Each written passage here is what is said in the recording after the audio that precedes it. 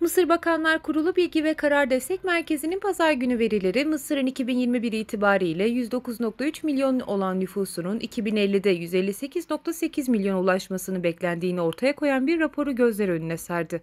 Yerel medya kuruluşu Yoğum 7 tarafından yayınlanan raporda büyük çaplı nüfus artışının yüksek doğurganlık oranına bağlı olduğu, ülkenin Orta Doğu ve Kuzey Afrika'daki dördüncü en yüksek doğurganlık oranına sahip olduğu belirtildi. Hükümet yetkilileri ülkenin beklenen nüfus artışı karşısında önümüzdeki 30 yılda altyapı projeleri ve kalkınma harcamalarının artması gerekeceğini söyledi. Son yıllarda nüfus artışını dizginlemek üzere birçok kampanya ve program uygulamaya koyan Mısır, ücretsiz ya da düşük fiyatlarla doğum kontrolü sağlamak üzere yılda 100 milyon Mısır lirasının üzerinde kaynak ayırıyor. Şinli Haber Ajansı muhabirleri Kahire'den bildiriyor.